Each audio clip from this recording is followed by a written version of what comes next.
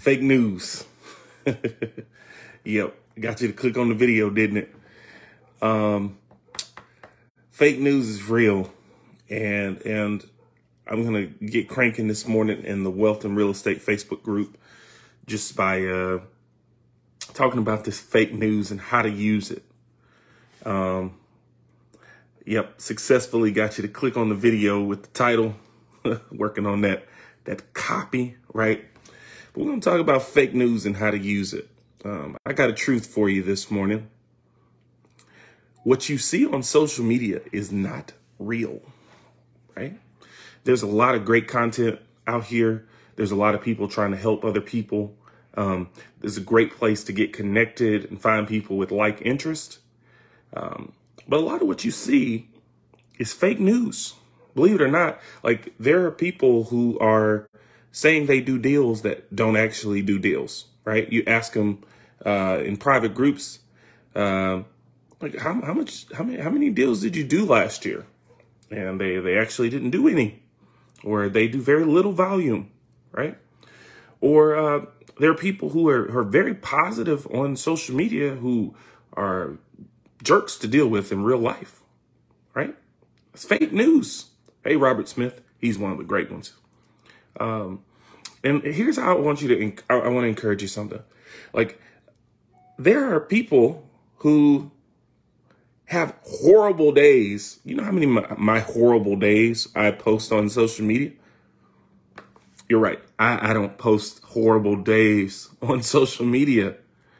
So if you're not careful, you can be looking at somebody's social media and have a rosy, uh, wonderful, glamorous picture of real estate investing or business development.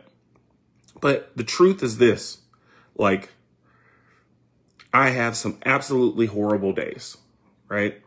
I deal with some absolutely horrible issues. Um, yeah, I'll tell you in, in a positive Facebook group that I own over a hundred properties. And that's true. Um, my business provides safe and clean and affordable housing to over 200 families. That's true. But what I might not tell you is that I have a house with a hole in the floor right now, right? Or I have somebody who's living in a, a property that needs a water mold remediation, right? And that's true too. The real, the reality is that if you can figure out how to sort through the fake news and use it to your advantage, you can build a better business. Yep. You can build a better business if you can find the folks who aren't just spewing fake news and find people that are actually in the business that you want to be in. See, I, I kind of like the fact that I can tell you that, you know, I collect six figures a month in rent payments, but I can also tell you that that probably means that you're going to have, you know, 10% of people who are probably not going to pay their rent on time. You got to be able to find the folks who are not just spewing fake news. Find the folks that are actually in the business, that are doing the business, that are growing a business, and get attached to them. You can use fake news to your advantage, right? You can use somebody's happy days, somebody's great days to grow your business, to get motivated, but then I want you to figure out if you can dive deeper into that story and really build systems and processes that can grow your business. That's right. Like I'm trying to connect to people that are really in the trenches, doing deals, growing multi-million dollar businesses and portfolios. And you can do the same thing.